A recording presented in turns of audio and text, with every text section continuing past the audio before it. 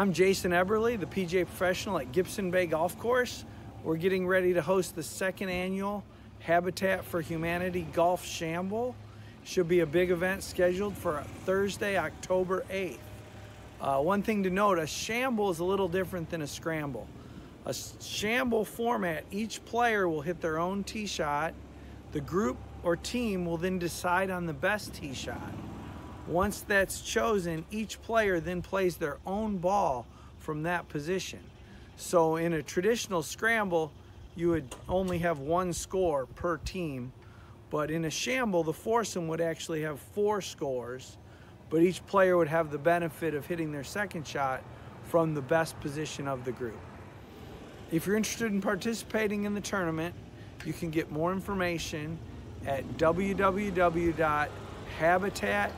www.habitatmcc.org slash golf. Thank you.